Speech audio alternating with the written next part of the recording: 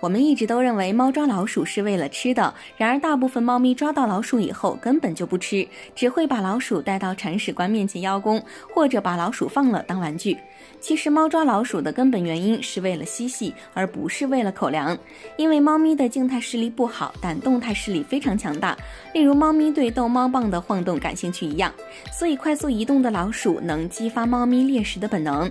我们也就经常看到猫咪喜欢玩欲擒故纵，不会第一时间把老鼠灭掉，而是不断的抓了放，放了抓，慢慢戏耍一番。因此，猫抓老鼠的本质只不过是喜欢戏弄老鼠罢了。那么，在什么情况下猫才会吃老鼠呢？科学研究数据表明，野猫捕猎老鼠的成功率高达百分之六十，却也很少进食老鼠；而捕猎鸟类的成功率只有百分之三十，却优先选择进食鸟类。也就是说，只有在饥肠辘辘、没有选择的情况下，猫咪才可能第一时间灭掉老鼠。好啦，本期的世界之最就到这里。如果喜欢视频的话，别忘了点赞、分享、关注哦。